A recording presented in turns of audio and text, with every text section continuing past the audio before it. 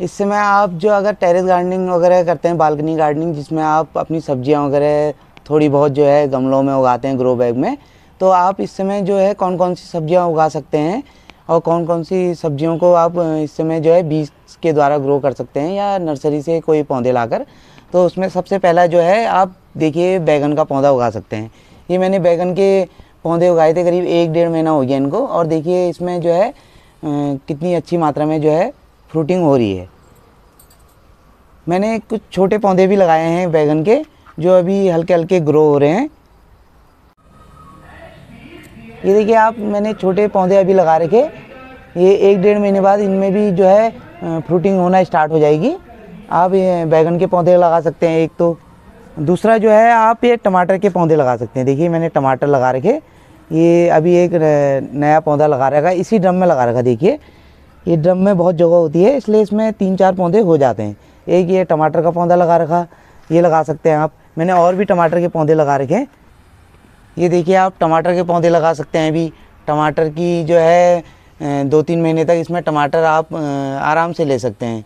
तो आपको मार्केट से टमाटर लाने की भी ज़रूरत नहीं पड़ेगी। टमाटर का पौधा जो है ईजी टू ग्रो होता है। ये आराम से ग्रो हो जाता है और कैसी भी मिट्टी में आप इसको ग्रो कर सकते हैं। आप इसमें लगा सकते हैं लौकी की बेल को। लौकी की बेल, एक डेढ़ महीने में आपको गर्मियों में ये जो है, पौधा जो है, बढ़ जाता है और इसमें जो है, फ्रूटिंग स्टार्ट हो जाती है करीब एक डेढ़ महीने में। देखिए, जैसे मैंने लौकी की बेल लगाई थी, इसमें ये कलियाँ आनी स्टार्ट होगी देखिए, फ्रूटिंग स्टार्ट होगी है। तो आप लौकी की बेल भी लगा सकते हैं इस समय ईजी टू ग्रो है लौकी की बेल भी। आप इस समय जो है, ककड़ी भी लगा सकते हैं। ककड़ी यानी जो खीरा है देसी खीरा, ये आप लगा सकते हैं। देसी खीरा भी जो है, गर्मियों में बहुत पसंद किया जाता है और अच्छी फ्रूटिंग होती है इसमें। देखिए, मेरे पौधे में जो है फल आना स्टार्ट हो चुके हैं, क्योंकि मैंने एक डेढ़ महीना पहले लगाए हैं, सब ये बीज से ग्रो कर रखे मैंने। तो आप इस समय खीरा भी लगा सकते हैं।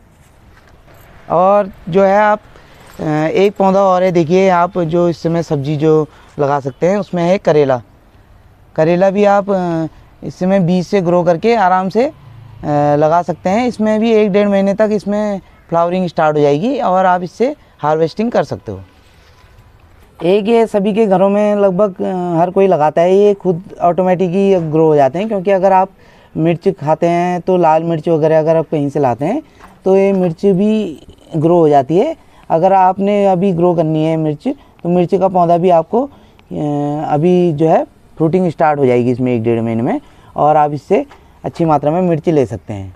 मिर्ची का पौधा ऐसा है कि आप मिट्टी इसके लिए बिल्कुल वेल ड्रेन्ड मिट्टी चाहिए, जिसमें पानी ज़्यादा ना रुके, और जो है पोषक तत्व भी इसमें अच्छे चाहिए, जिससे कि आपकी मिर्ची की जो देखिए, मेरी कितनी अच्छी मिर्ची हो रही है।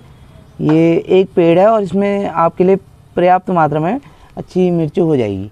तो आप मिर्ची का पौधा भी लगा सकते हैं इसमें सब्ज़ी में। तो लगाते हैं। अगर आपके वहाँ बंदर हैं, बंदरों से बचाव के लिए देखिए मैंने ये जो पन्नी लगा रखी है कपड़े की, ये बैगन जो है बंदरों को बहुत पसंद होते हैं और ये रोज़ तोड़ ले जाते हैं। जितना अगर थोड़ा सा भी बड़ा हुआ तो ये तोड़ ले जाते हैं। आप कोई भी सब्ज़ी, अगर फल वगैरह होते हैं तो बंदरों से बचाव के लिए आप इस टाइप से पन्नी बाँध सकते हैं कपड़े की, जिससे कि पौधे को धूप भी मिलती रहे और जो फल है जिसमें उसको धूप और हवा मिले। पन्नी जो है, प्लास्टिक की मत बांधें, कपड़े की बांधें तो उससे आपके बंदरों से बचाव हो जाएगा। मैंने देखिए, सभी में पन्नी बांधी थी। आज इनका हार्वेस्टिंग का टाइम आ गया है। मैंने इसका वीडियो बना रखा, बंदरों से जो अपने फलों को कैसे बचाया जाए। तो मैंने सब ये सब पन्नियों से बांधे थे। आज थोड़े बड़े हो गए हैं तो इनको आज हार्वेस्टिंग कर लेंगे। तो इसलिए मैंने खोल दिया है। तो आप भी इस तरीके से जो है सब्ज़ियाँ लगा सकते हैं। और अगर आपको इस समय सब्ज़ी लगाएँगे तो एक डेढ़ महीने में आप उसमें से हार्वेस्टिंग भी कर सकते हैं। तो इस प्रकार से आप बंदरों से भी, अपनी सब्ज़ी और फलों को आसानी से बचा सकते हैं, जो मैंने आपको एक ट्रिक बताई है। आप वीडियो में भी देख सकते हैं, जो मैंने पहले बनाई है उसमें। धन्यवाद।